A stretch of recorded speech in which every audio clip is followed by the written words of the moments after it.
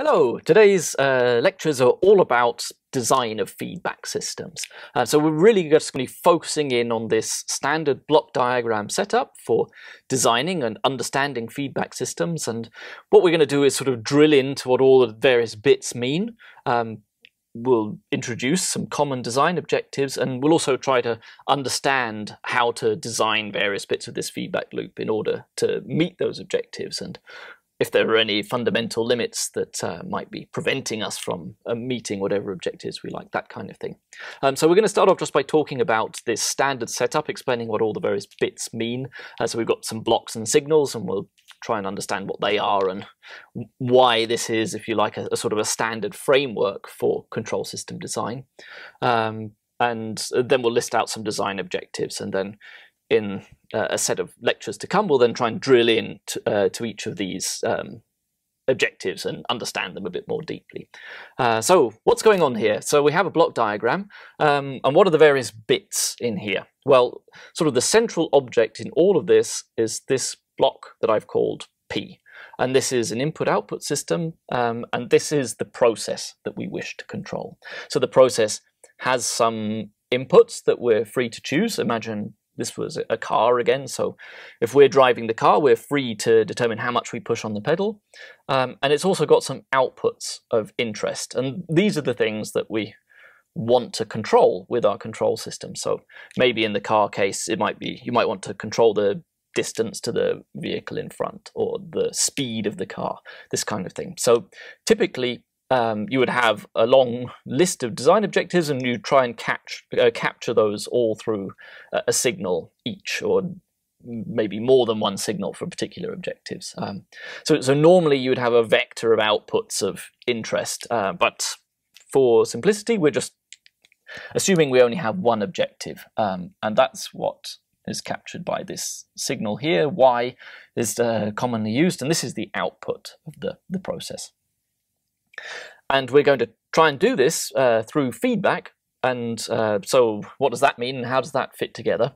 Uh, well, what we're going to do, we have this quantity that we're interested in and we're going to take some measurement of it uh, with a sensor. So I don't know, maybe you've got a distance sensor on your car telling you how close to the car in front um, you are.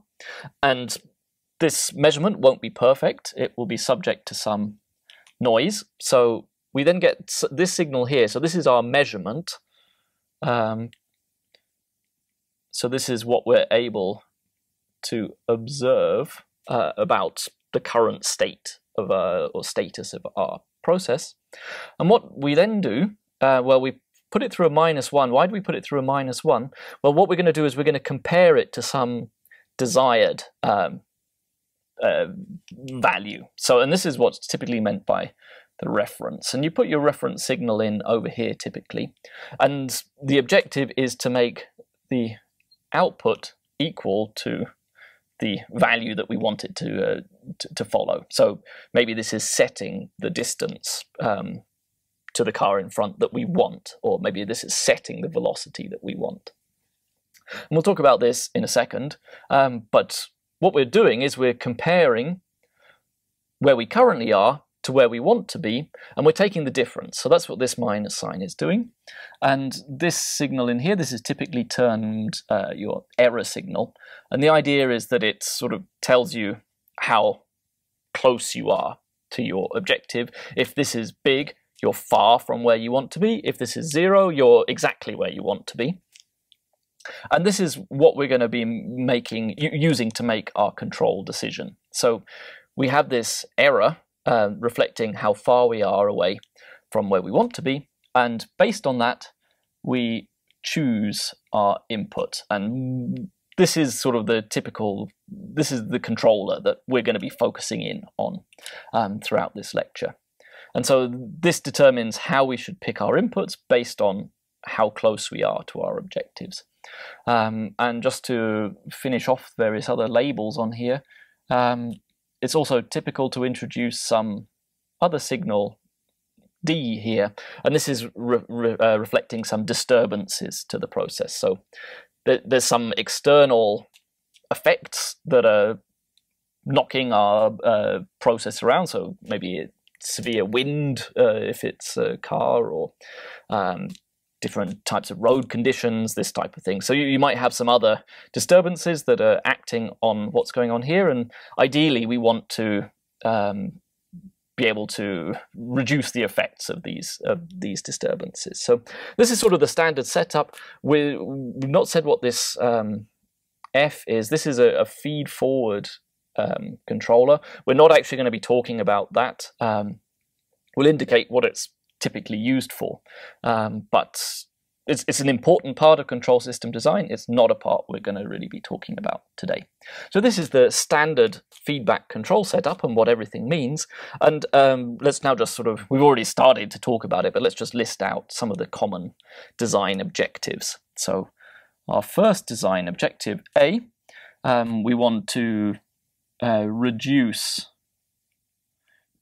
the effect of load disturbances. load. Uh, yeah, let's just keep going. Disturbances.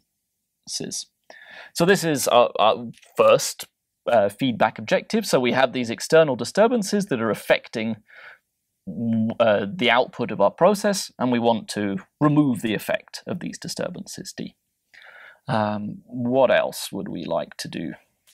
Um, we don't want to inject too much noise into the system. So um, don't inject too much noise. And you can already perhaps start to realize that there's going to be um, sort of fundamental trade-offs involved in control system design. So the fact that we have this unwanted noise um, signal affecting things, this is a, a result of us using feedback. The choice to use feedback is necessarily introducing some noise, um, and this will have a negative effect on the performance of the system as well. So there's sort of going to be some balancing act going on here. We're introducing the controller to try and reduce the effect of these disturbances and also um, track various references. But we've already identified that this comes at a cost. Um, our measurements are subject to noise, and these will have a detrimental effect on what's going on. Um, but hopefully we can design our control system in such a way that we're not injecting too much noise um, mess to messing up the behavior of the process. Um, C, uh, this is a very important one. Um, we want to make response insensitive, insensitive uh, to um, changes in the process. The process. I mean, we've sort of already touched on this in previous lectures, but um, processes are changing all the time, perhaps very slowly. Um, when we discussed this before, we were talking about uh, an, an aircraft over um, over a flight, it will burn some fuel, and this will change the mass of the aircraft, which will affect its input-output dynamics. Um, hopefully, we can design our controller in such a way that these changes um, will not have a big uh, impact on the performance of our system. Um, often, I mean, maybe this is getting a bit more philosophical, but you would you you will only ever have a model of your process. You'll never know exactly what your process is. Uh, you'll just have some rough idea. And hopefully we can do our control system design so that this doesn't actually matter. We don't need to know exactly what our process is in order to get the output to do what um, we want it to do. And this is really a, a huge um, selling point of feedback, is that good feedback design will give you performance that works even if the process isn't exactly what you think it is, which is good because you don't know exactly what it is. Um, so th this is another a, a, key objective here: make the response insensitive to changes in the process. And then finally, we've already talked about it: is um, follow command. Command signals. Command signals. So this is the get the thing to do what you want it to do. I want this velocity. Hopefully, the output uh, velocity of the car will match the reference. Um, so this is sort of your your final objective, if you like, and this is sort of a a fairly high level uh, roadmap for. Uh, or, or a set of objectives for good control system design. So, what do the various bits normally, uh, who takes responsibility for what? Well, P, we're stuck with, I guess. Um, it's not completely true. Um, in a process, maybe there are design choices there um, that uh, that you should consider. So, what types of sensors to use, for example, or how strong to make your actuators. And by really understanding the feedback process, you can you can gain quite a lot of valuable insight into what those need to be. Um, but for the purposes today, this is what we're stuck with. Um, and what we're able to design is our controller and this feed forward compensator. And what do you typically use to do what? Uh, typically,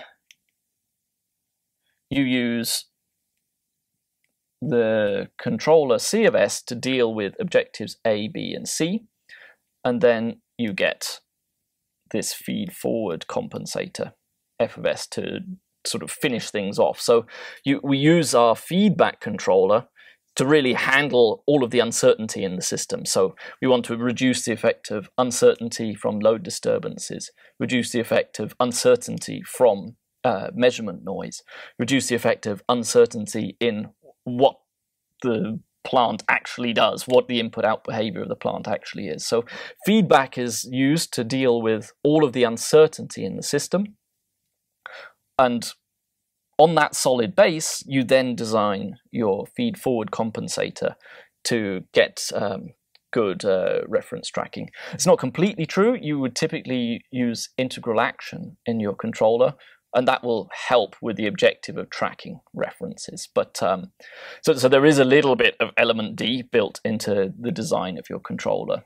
Um, C, but typically you're using feedback to deal with all of your uncertainty, and then you're shaping things at the end with your feed forward compensator so that you can um, get uh, your system to follow command signals in a desirable way.